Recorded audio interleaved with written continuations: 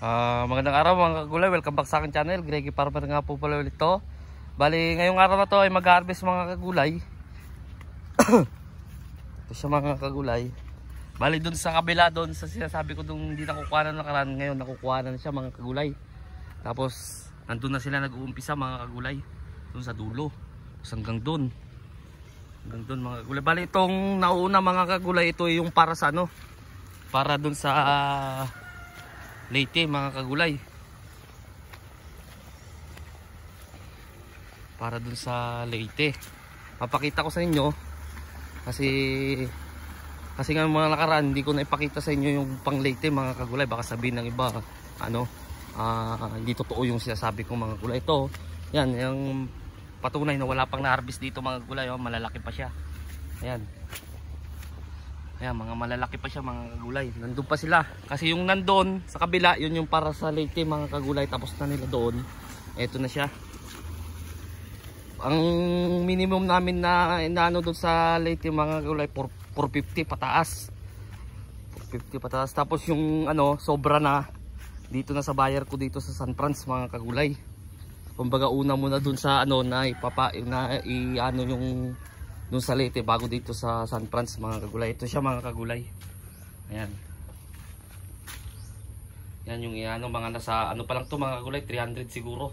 Ayan. Ayan mga kagulay. Ayan siya.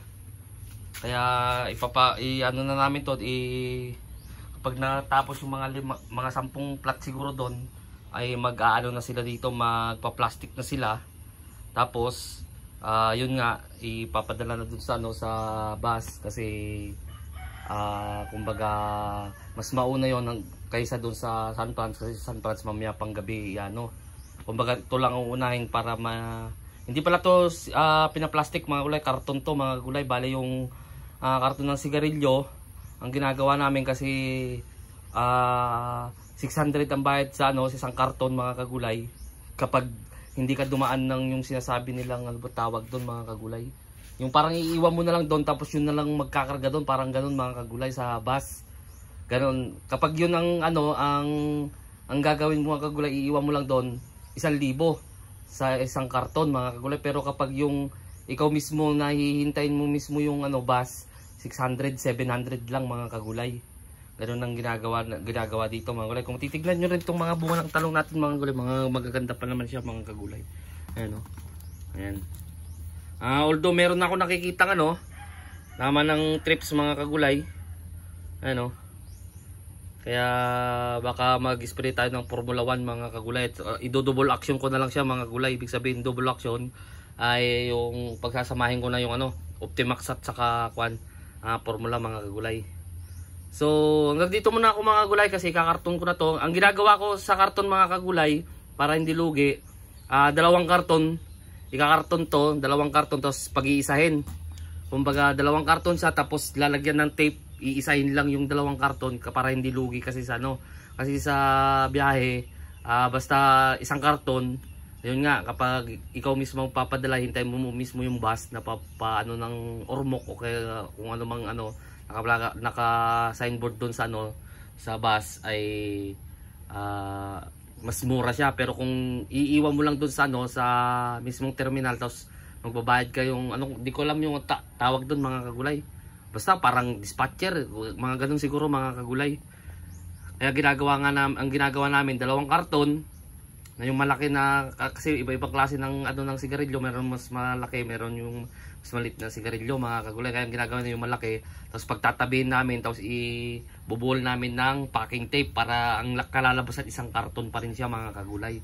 Ganun ang ginagawa. Tapos ang karga uh, 50 o minsan nakakarga niya ng 60 basta mag maayos lang yung pagkano pagkakarton niya mga kagulay. Ganun ang ginagawa. Tapos yung susunod nun yun naman yung para dun sa buyer natin sa San Franz dun taga, taga sa amin mga kagulay kasi nung nakaraan 480 ito, ewan ko lang kung ilan yung may kakarton kasi ang ano lang namin doon na mapadala basta hindi siya bababa ng hindi siya bababa ng 450 mga kagulay.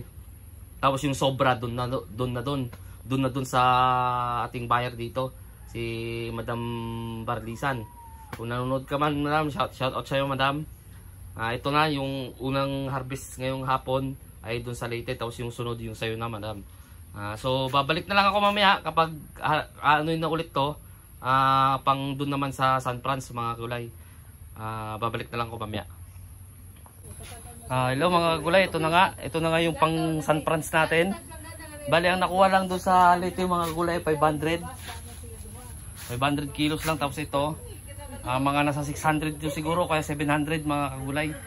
Itong anong to. Pero hindi ko lang pero ang ano ko lang estimate ko lang to na i-deliver doon sa San Francisco mga nasa 600 o 700 siguro to mga kagulay. Ito yung sa San Francisco. Yung sa Leyte, mga 500 lang yung inano kasi nabol yung ano, yung pangalas 4 na biyahe. Kaya 500 lang.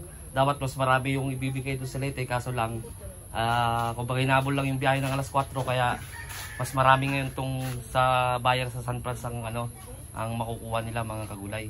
Bali ito mga kagulay ay hugasan pa kasi nag-grass cutter nga kung naalala, naalala nyo yung ano, yung nag-vlog ako nung nakaraan, yung last vlog ko, ay nagtatali sila at saka nag-grass cutter. Kailangan itong hugasan kasi yung mga talsik ng ano, talsik ng ano ng grass cutter. Katulad nito mga kagulay oh. Kaya kailangan siyang hugasan. Tapos ang class B namin mga kagulay, ito, nasa 53 mga kagulay. Tapos ang class C, ayun, nasa ano 26 mga 26 mga kagulay. Tapos to 53 tong class B natin mga kagulay. Ito class class A pa rin to. Doon pa rin to ma, maano mga kagulay. Masasama pa rin doon. Bali ito mga kagulay napilian na lahat to. Kaya napakita ko sa inyo yung class B na 53 tapos yung class C nasa 26 mga kagulay. Bali kung magtatanong kayo ng farm gate dito mga kagulay ang bigay sa ano ay 45 mga gulay dito sa San Franz. 45 ang ano ang kuha nila ng class A tapos ang ano ang class B 10 piso lang naman yung pagitan. Ibig sabihin kapag 45 ah 35 ganun ang mga kuha sa ano tapos yung class C mga nasa 20 ganun mga kagulay. Pero tatanungin ko pa kasi na ano tayo ng ano nang hindi ko itatanggi mga kagulay na ano tayo ng fruit borer ito.